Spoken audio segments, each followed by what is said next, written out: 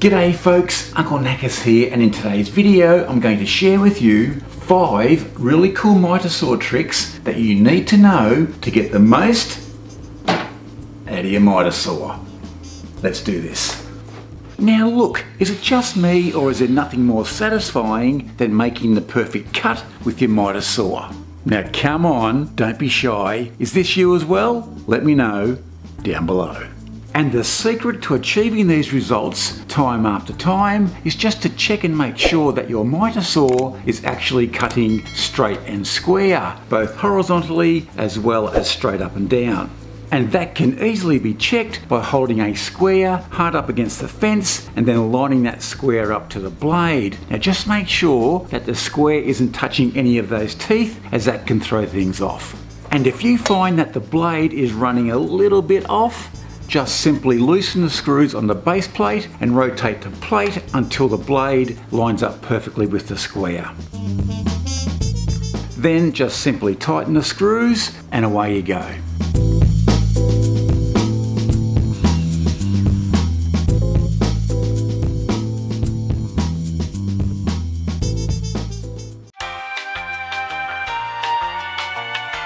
Now look, every now and then you'll be required to make a miter cut that goes beyond the cutting capacity of your miter saw.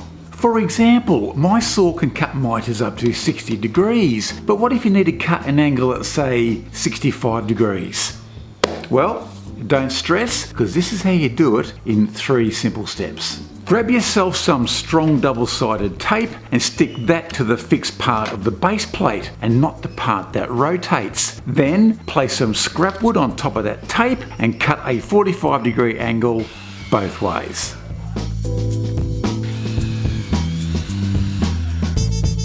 Now with our saw set back to zero degrees, just there, we've basically created a 45 degree angle and this is where the magic happens. So let's say you need to cut a 65 degree miter. All you need to do is to take 45 off 65 and you're left with 20. So set your saw to 20 degrees, place the stock hard up against the 45, keeping it nice and flat, and then cut the stock. And there you have it, a 65 degree angle. And say for example you wanted to cut a 70 degree miter. Well, take 45 away from 70, which gives you 25. So set your saw to 25 degrees and away you go. It's as simple as that. You're welcome. Now I love this next tip and I think you will too. Now look, we've all done it. You've cut a piece of wood, you go to install it, only to find that it's just a bee's doohickey too long, which is really frustrating. But it's a great way to take just a smidge off that without having to measure anything. All you need to do is to lower your blade and then butt the piece that you need to take a smidge off up against it. And this will push the blade across just a hair, which is all that you need. Then just lift the blade up and as you can see, as you lower it, it will ever so slightly come in contact with the wood, which is just enough to cut a very small amount off.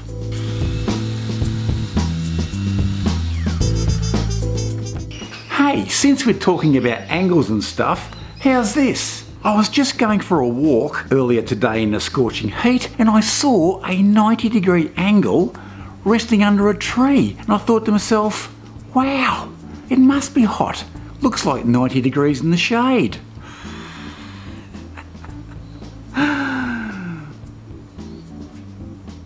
I'll get my coat. Now if you have two boards that are two different widths and you want your external corner and internal corner to match on a mitered corner then a 45 degree angled cut isn't going to work.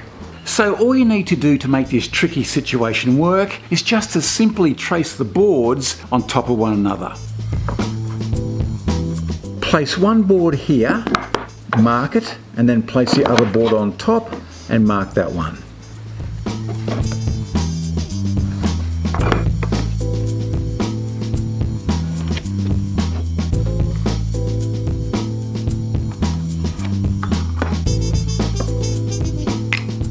Now personally, to transfer that angle to the miter saw, I like to get my bevel gauge set to the angle required and then adjust the miter saw till the blade just comes in contact with the blade on the bevel gauge and away you go.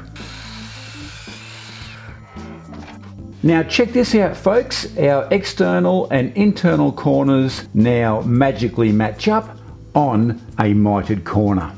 How cool is that? Now just very quickly, if you're looking for ideas on what to build with your miter saw, I have a library full of project plans which may be of interest to you. And I'll leave a link to those down below, so do yourself a favour and check those out after you finish watching this video. Good stuff. Alrighty, back to the miter saw tips. Now this next method is possibly one of the most important tips that you can take on board when using a miter saw. Without doubt, one of the scariest operations when using a miter saw is when you need to cut yourself a small block of wood. If we take a close look at the saw, you'll notice that when cutting a small piece, there's nothing back here to support the work. So there's a tendency for the blade to drag the piece in this direction, which is very dangerous, as that can either drag your fingers in with it, or it can split the piece out at a great rate of knots, which is particularly frightening. And if you check out the kerf plate or the throat of your miter saw, which is this piece here, you'll notice that the groove is just too wide and isn't suitable for cutting small pieces as that small piece will tend to tilt into that groove during the cutting process which is never ideal and also sometimes the small piece that you cut off will finish up inside that housing which is always a pain to try and retrieve. Now the solution to these issues is to make yourself a quick and easy zero tolerance plate. Did I just say zero tolerance plate? I meant zero clearance plate. I Think I've been watching too much of the news. Which offers complete support on the bottom as well as the back and you'll also end up with a better finish by reducing tear out. Now I've simply made mine out of a sheet of 7mm plywood and I've also added a cleat underneath on either side that neatly fits over the base of the saw which makes setting up quick and easy.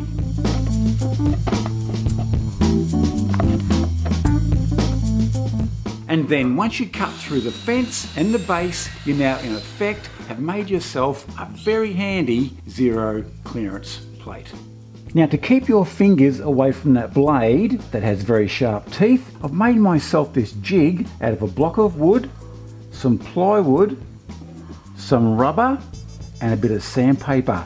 And when I apply pressure to the top of that jig, it holds that piece securely in place and also keeps my fingers away from the blade during the cutting process. Righto, let's give it a crack and see how it works.